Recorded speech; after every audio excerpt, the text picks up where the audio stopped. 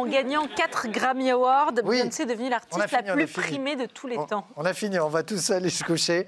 Il est, on enchaîne avec la messe, hein, il est dimanche là, déjà.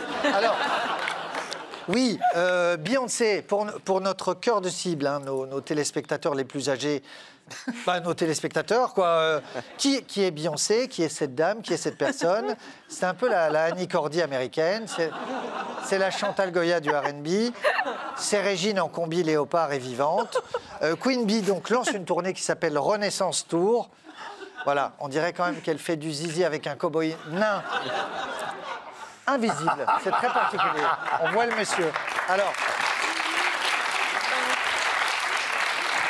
En revanche, le nom Renaissance, c'est quand même le nom du parti de Macron. Tu te dis, je vais me taper Olivier Véran et Bruno Le Maire en première partie. N'hésitez pas à arriver en retard, vous allez rien louper.